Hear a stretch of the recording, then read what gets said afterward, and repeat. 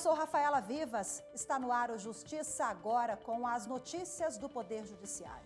O segundo semestre forense do Superior Tribunal de Justiça começa hoje, às duas da tarde, com sessão da Corte Especial ao longo dos próximos meses.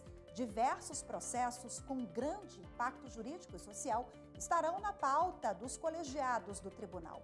Um deles é o julgamento iniciado em dezembro do ano passado, que envolve quatro desembargadores do Tribunal Regional do Trabalho da Primeira Região.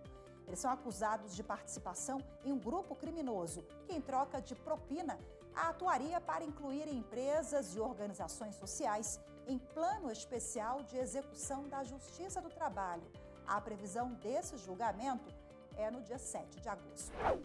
O Conselho Nacional de Justiça vai promover nos próximos dias 7 e 8 a 18ª Jornada Lei Maria da Penha, um espaço para debater os desafios enfrentados pelo sistema de justiça.